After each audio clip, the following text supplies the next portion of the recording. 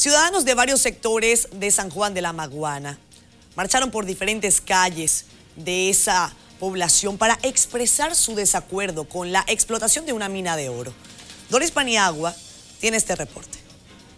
Bajo el lema El agua es nuestro oro, marcharon una vez más en San Juan de la Maguana para decir no a la explotación minera. Es la vida de este pueblo que se quiere impedir. No vamos a volver a la leyenda de Juan Comodoro, buscando agua encontró petróleo, pero se murió de sed. No queremos oro, queremos agua, queremos vida, porque el agua es vida. Manifestaron que dicha explotación acabaría con la vida de las presentes y futuras generaciones. Hemos subsistido, hemos vivido durante décadas y siglos sin oro. Entonces ahora, en la actualidad, no es necesario ni nos hace falta para seguir sobreviviendo.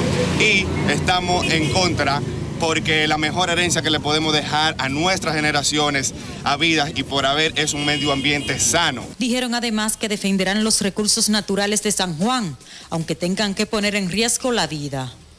Totalmente negado a eso y estamos en disposición de hacer lo que sea necesario a una cuesta de vida para defender que esa mina no se explote.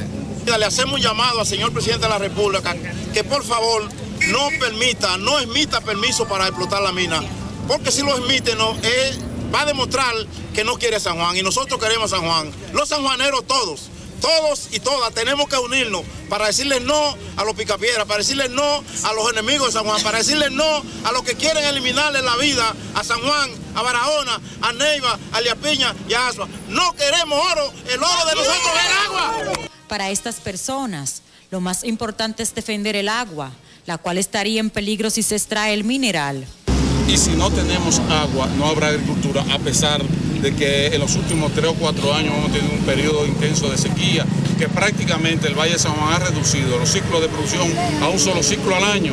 Si explotan, la, si las minas, sencillamente se va a reducir a cero la, la producción agrícola del Valle de San Juan. Desde que se habla de mina en San Juan, se han creado diversas manifestaciones en contra de la explotación de la mina ubicada en Hondo Valle de San Juan.